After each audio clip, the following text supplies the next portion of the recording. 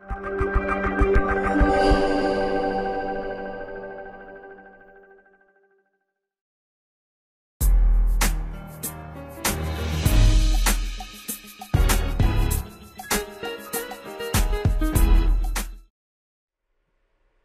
everybody, welcome to another episode of Financially Irresponsible. I'm your host Rahkim Sabree, and true to my commitment, I have been getting guests to come on from the community doing great work. Today's episode, I want to introduce you guys to Kevin Paulin. Kevin, welcome to the show. Thank you for having me. Thank you for having me. Yeah, it's a pleasure. Tell the audience a little bit about who you are, what you do, and uh, we'll kick it from there. All right. Um. So I am the executive. pardon me. I am the executive director and co-founder of a nonprofit called Winning Ways. Uh, Winning Ways is based out of uh, Branford, Connecticut, and we're a statewide nonprofit. And what we do is work with individuals that have experienced reentry, um, as well as recovery. We also work with at-risk youth and uh, victims of domestic violence. And essentially, Winning Ways is a support system for those that don't have it. And our job is to navigate and provide skills that individuals can use to increase the quality of their life. Fantastic. And Kevin and I met. Um, I was a guest on his podcast Yeah. discussing uh, financial trauma and some of the work that I was doing around financial education. Right. And um, Kevin, tell the audience a little bit about um, what Winning Ways involvement in the area of financial education specifically looks like, and um, what what has the journey looked like for you um, in you know being a founder. Okay. So, with financial education, we created a uh, a robust curriculum that's called the Winning Circle series.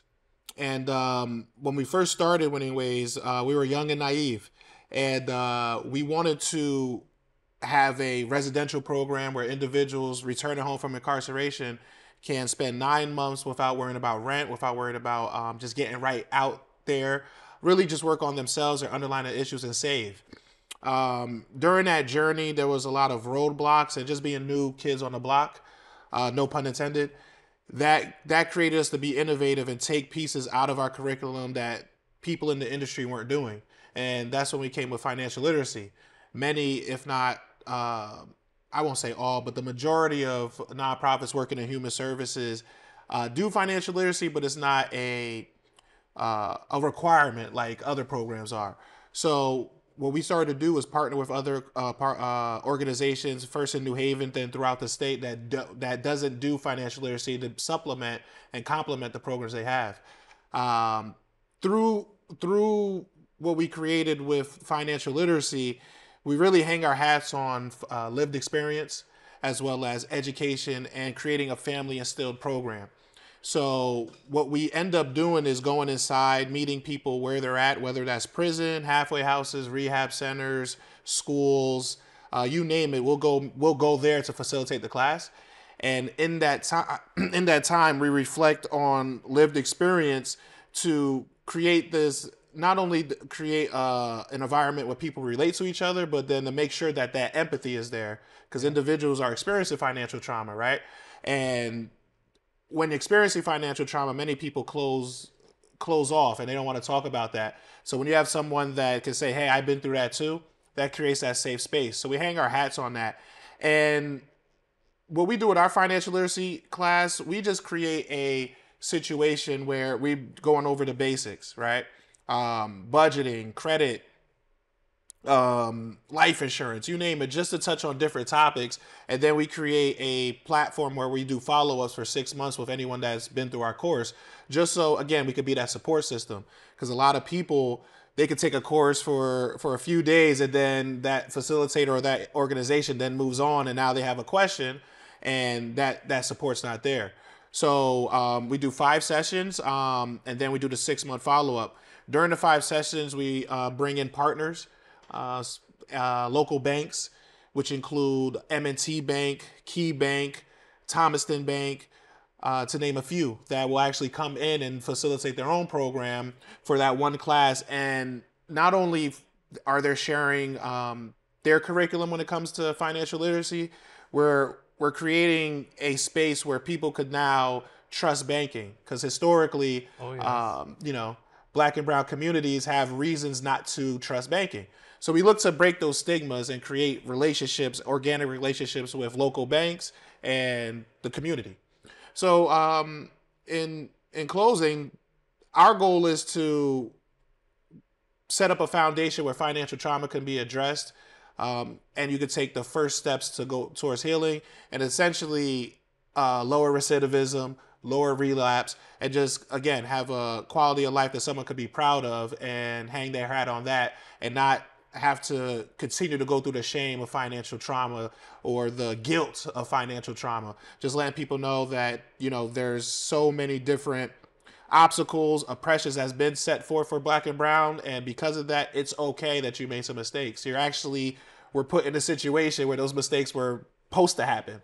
So now that you know where these potholes at, where our job is to point those out and give you that navigation so you can now increase your quality of life. Yeah, man. Like I'm I'm lighting up on the inside with so many things that you've said, um, because there are things that I've said on the show, right? I think you know just to kind of start off with the I, I've kind of dubbed it the willful non-participation in financial systems that Black and Brown people have um, I gotta write that and down. participate yeah participate in or refuse to participate in rather because of some of the historic institutional abuses that Right. and uh, let me rephrase historic and present day institutional abuses yes. that um Yes. that we navigate um i thought that it was interesting the demographic that you serve um because one of my goals in in kind of running this show is to talk about how financial literacy doesn't look the same for everybody, right? There, it's it's it's often, at least in the past, it has been often packaged as looking one way, and so we're talking about the same topics over and over, and it's delivered in a very similar way from a very similar kind of archetype. And so when we talk about the audiences that you serve, um, in particular, the experiences of guilt or shame, um, I find that some financial educators tend to steer away from that demographic because, for one, they're they can't connect on the basis of a shared experience, um, but for two, they may feel intimidated in bringing in you know this education to that environment because of some of the pushback that they might experience. And in some of the work that I've done um, in this area, specifically, um, I've received some of that pushback, right? Like eh, I've worked in um, with a group of formerly incarcerated men, and they're like, "Well, I can't do what you can do because I can't get the jobs that you can get," or so there, there's a lot of conversations around um, how do we navigate non-traditional means of participating in this very traditional system, and so I, I think that's super important the work that you do um, to that end as well. Tell me about the evolution of the uh, the organization, right? So you said when you started, you were like the new kids on the block, very ambitious, and I can relate to that um, just in terms of you know wanting to save the world, right? You come out, you have this idea, and then you realize through kind of like a lot of the red tape and the bureaucracy that you know maybe I need to kind of niche down a little bit. What has that journey looked like? And you, you kind of alluded to pulling some things out of your program, um, expanding the program. What has that evolution looked like? It's a great question. Um, starting back in 2016 is when we started, the summer of 2016. Um, and myself, I'm one of three co-founders. Shout outs to Ben Backus and Andrew Redenti. Those my brothers. And I met Ben um, working at a local shelter in New Haven. And during that time, we we both agreed that the bar of success coming out of a shelter was low. Um, and what I mean by that is if you got housing and or employment, it was a success. But that doesn't create a space where you're addressing the underlying issues and creating retention of a job or retention of housing. And then people are coming right back to the shelter and it's the same faces. So what we wanted to do was create a space where we could set the bar higher and address underlying issues. So as we navigated in our first few years, no money, no grants, no funding, no anything. We did everything out of pocket. For out of eight years, at least five were, uh, maybe even six were out of pocket, right? And during that time, as I look back, that was actually a blessing because we didn't receive any funding where a funder could tell us what we have to do or how we have to do it. So we were be able, able to be real innovative and create our own goals and actually push the goals because we wanted to be set it higher. So at, w- while doing so, um, there was a lot of, as you said, red tape in terms of they just didn't.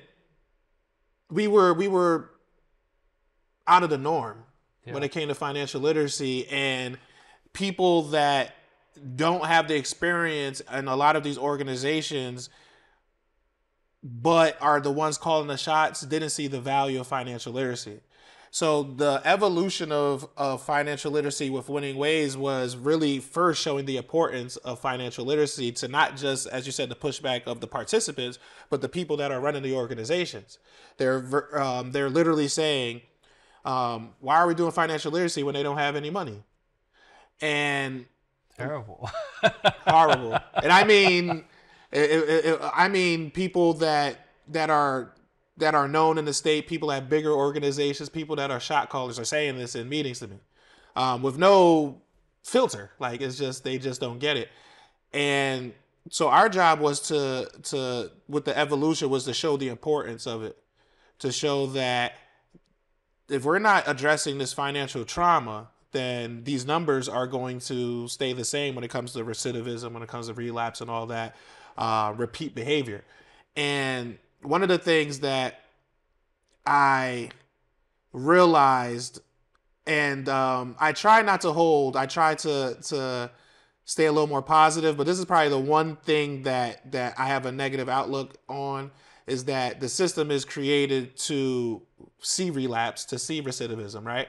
So we had to really evolve into advoc- advocacy and not just going to the capital, but just advocacy in our own neighborhoods to say, hey, if the participants or the community doesn't see the importance, then the people that calling the shots not going to see the importance.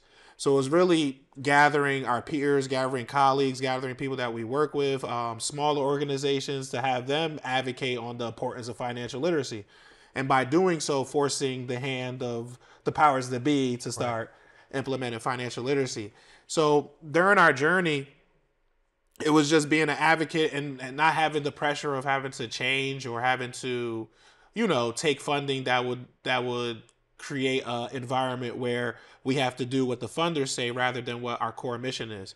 So now that we're getting funding from different sources, we still hold to that. Like we're not taking the money if we can't do it our way. You know what I mean? And the results show. You know, we've we've helped a lot of people.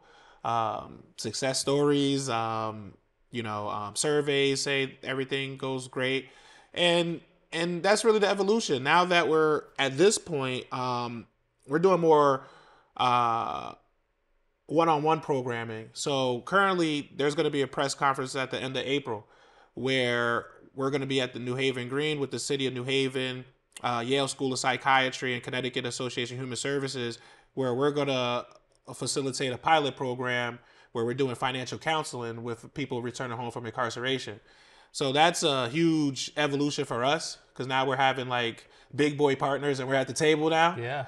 And um, you know, again, that's just going back to all the advocacy, all the work that we've been doing. People like you that's been pushing the narrative of financial, um, not just literacy, but financial trauma. I think that's even that's really the term that that's being that's being uh, showcased these last few years, and people now are seeing like, hey, we got to get with this because at, at some point you can't deny that this is happening and you can't deny that people need to heal from it and there's organizations like ourselves and many others and people like yourself that's doing the work.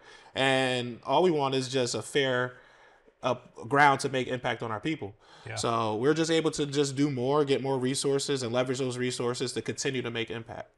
That's awesome yeah i think that um it, it's so funny with kind of the current climate in the world of financial education because there is certainly kind of like this wider spread acceptance mm. um, on the part of practitioners up from you know the highest levels of academia all the way down into the the you know one-on-one client serving individual and um, across the industry i'm seeing like the cfp board is requiring you know uh, financial psychology and kind of this behavioral finance um, component to the education with cfps which you know they're kind of like regarded as that gold standard right in financial planning Right. uh, i'm seeing with a lot of um, academics who are in the world of financial therapy being amplified through publications and television and um, other forms of media. I'm seeing more of these conversations, right, where the the term or the phrase financial trauma is being kind of tossed around,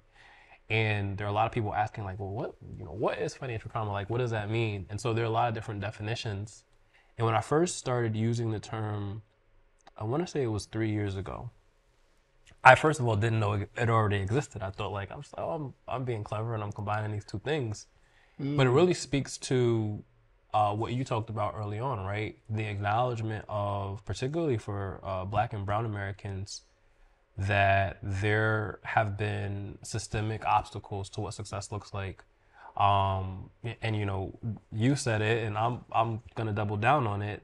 Almost looks like it was designed in a way that you know you're supposed to trip, you're supposed to mess up, and that you know those um, obstacles create revenue sources for certain industries, right? And so while people are experiencing a direct impact of this financial trauma, there are industries that are profiting off of that financial trauma. And so how do you go up against, you know, the system of capitalism? How do you go up against um, human nature? How do you go up against um, the way what's happening internally, right? People who are um, navigating that guilt, that shame, that fear, um, who are isolating and saying, you know what, I messed up and maybe I don't deserve because this is what I'm being told by society. And so um, now, as you know, financial trauma is getting the rebrand that it's getting. I find it really interesting that, um, or rather, I find it really interesting the direction that it's going, and that it's it's become kind of like this mainstream thing now. And I'm curious what financial trauma is going to look like in the next, you know, five to ten years, right? Because you know these things happen. Yeah. And um, my fear, if I'm going to just be very transparent, is that financial trauma and um, the related healing methodologies to financial trauma is going to become so commercialized and so um, non individualistic that we're not going to recognize it. That it's going to become the new financial literacy catchphrase and we're not going to be as effective in our healing approaches. So I think that the work that um, that I'm doing, the work that you're doing, the work that some other people I know in the space are doing, is important because we're at kind of the cutting edge in defining what these healing methodologies look like, whether that be financial therapy, whether that be some form of uh, somatic healing, whether that be um, you know just kind of talk therapy and say, hey, like you do deserve you know whatever dot dot dot, and these are the ways to help kind of reframe your mindset or the communities that you can engage with so that you can kind of get the support that you need because we we are uh, by nature communal people right? Right. so we have to be around other people who are experiencing or um, who can affirm what it is that we're going through um, lest we experience that kind of divide and conquer that you're you're addressing through your organization so i think that's really dope um, what about the other programs that Winning Ways is involved in? Tell Yeah. me about um, what the evolution of that has looked like. Yeah, so we have two other programs. Um, actually, we have three other programs. The first, the first one that hasn't launched yet is going to launch this year. It's called Money Talk, which I'm I'm gonna invite you on camera now. I'm gonna invite you now. Um, and what that's going to be? That's going to be a forum where we do a Q and A. where We want to have an audience of the community and have a financial uh, expert in their lane, whether that's someone with life insurance, someone with estate planning, home ownership, what have you. And then we'll have a Q&A, have people in the audience, and then create this space where ask the expert, right? Um, so that's one of the programs that we're looking to launch this year. The second one is our flagship program, the one we started off with, financial literacy, and that that has always been something that we're gonna do. That's just just that's one of my passions. I'm a advocate for financial literacy and healing from financial trauma. Then we have the other two programs. One is called Spit and Paint, S P I T and Paint, and what we do with that is that is a DEI influence SEL, social emotional learning curriculum where we fuse arts together. So what we do is we have um, uh, guided art instruction from an art teacher, a live DJ, as well as spoken word, which is the spit part. And the spoken word poetry is based off the whatever topic we were discussing or going over, whether that's current events, whether that's reentry, whether that's home ownership, whether that's uh, Black History Month, whatever it is, we have done different themes, and that theme is still surrounded by all these different genre of arts that we able to fuse together and give a, a, a safe space for people to express themselves. And that program has taken off. Uh, we've been able to do that throughout the state in different locations, such as uh, uh, halfway houses, rehabs, uh, elementary schools, churches we've been really um, successful with that and really make an impact with that program. And then our other program is our career readiness program. That's called uh, EYE, Elevate Your Employment. Again, going back to what we, what human services industry deems as success, we wanted to raise that bar when someone is homeless or experiencing the journey of coming home from incarceration or any of those traumas where they're picking themselves back up. A lot of times, jobs or entry level jobs are are provided or referred to this person, and the person takes the job, but the person hates the job. The person don't want to stay there, and then they're unable to build savings. They're unable to take care of their family because sooner or later they're gonna quit. Sooner or later they're gonna, for whatever reason, not go in the next day because at the end of the day they dread it, right? Right. So what elevates your employment is we tap into the person. It's a case by case process where we create a career readiness. We use ONET uh, software to create this career readiness plan. And then whatever your pat, we we ask you what your passions are. What are the things you like to do growing up as a kid? What are your hobbies?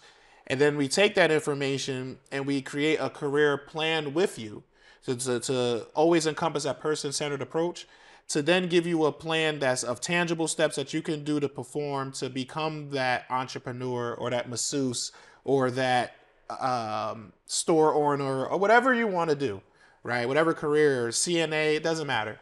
But the the focus on that one and why we're so adamant about the person centered approach because we believe that'll be less people leaving jobs, less people um, losing jobs, and more retention if you're doing something that you like to do. Right. So uh, that program started about a year ago. We did that, or we do that in a women's halfway house in uh, New Haven, and that's one we're going to also spread out throughout the state. And um, we we continue to think of innovative ways to implement program to supplement the community or the community uh, excuse me the community organizations and the things they do to continue to be innovative cutting edge and have fun right like uh, doing winning ways uh, has i mean it's a lot of work in terms of just administrative, logistics, grant writing, those things, which you, you have to do with a nonprofit. But in terms of doing the work, serving the community, that's always been a joy when we're uh, when I'm wearing the Winning Ways hat or someone else is holding the Winning Ways banner. So um, at this point, you know, we've evolved into a, a, agency. We started as a you know a small three uh, man team, but now we have a full board. We have um, full staff and we're in New London now. Uh, we're funded in New London, Hartford, Waterbury, and New and New Haven, and we're looking to you know continue to expand, get into Fairfield County. We're talking to um, certain organizations out there, and continue just to do the work, to do the work. Yeah. Fantastic. I um I wish we had more time to dive deeper into this, but we do have to wrap up. So, Kevin, why don't you uh, let people know where they can find out more about winning ways mm-hmm. and um and yeah all right all right so you can find us at winningwaysct.org Also, you can find us on all social media platforms. Winning Ways Inc. or Winning Ways CT will pop up. Um, yellow and blue logo with Winning Ways on the bottom. And then um, also, we also have a podcast, the Falling Up Podcast. You can also find that on the winningwaysct.org website. Fantastic. Kevin, thank you for uh, for coming on. I know we we've been talking about it for a little while, and I'm I'm glad that we were able to make that happen. Uh, ladies and gentlemen, this has been another super impactful episode of Financially Irresponsible. I'm your host, Rahkim Sabree. Until next time.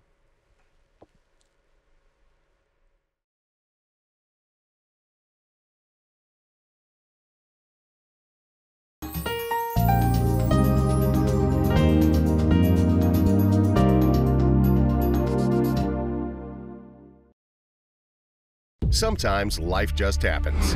Don't worry.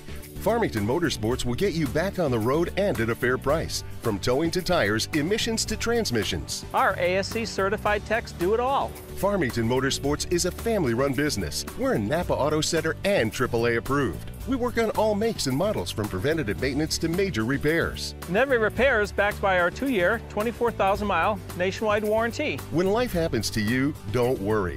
Farmington Motorsports. Hi, I'm Jay McCormick, a board director at Nutmeg TV, your local public TV station right here in Farmington.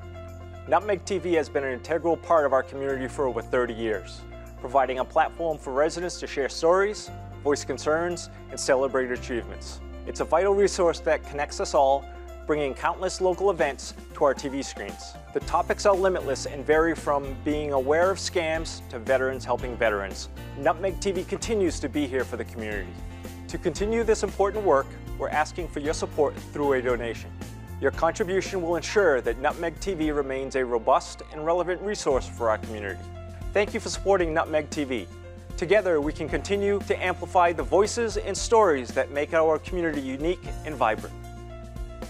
To make a donation, simply visit our website at nutmegtv.com or call the office at 860 321 7405 for assistance.